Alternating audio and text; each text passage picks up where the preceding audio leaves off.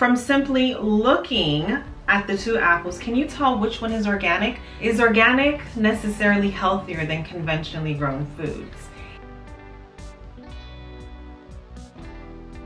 Hello everyone, my name is Kim. I am a registered dietitian nutritionist and a certified diabetes educator.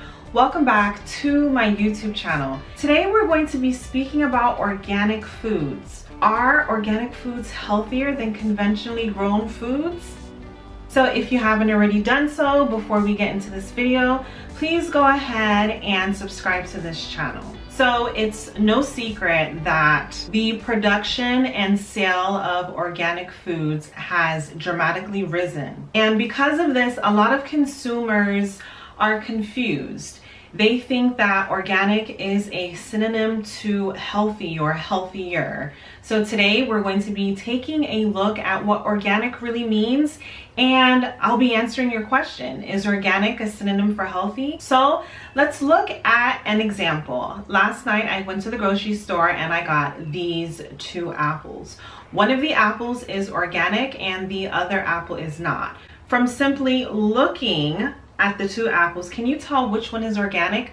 Some people may say, well, one apple is bigger than the other, one is redder than the other, but these do not give us any indication on which apple is organic. Likewise, it doesn't give us any indication on which one is conventionally grown.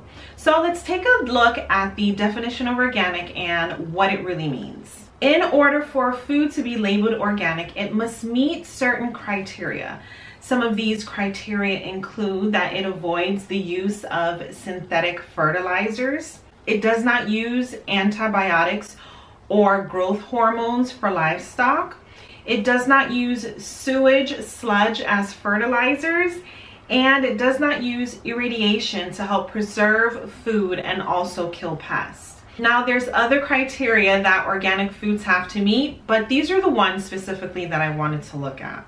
And because of the criteria, organic foods do tend to have a higher cost. So the burning question on everyone's mind, which I'm just going to get to, is organic necessarily healthier than conventionally grown foods? And the answer, are you ready for it? Is no, it's not, especially regarding nutrition and safety organic foods are not necessarily better than conventional foods. Now I know the thoughts that you may be thinking in your mind, but Kim, I read certain scientific studies which show that organic foods can have higher antioxidants, it can have higher nutrients.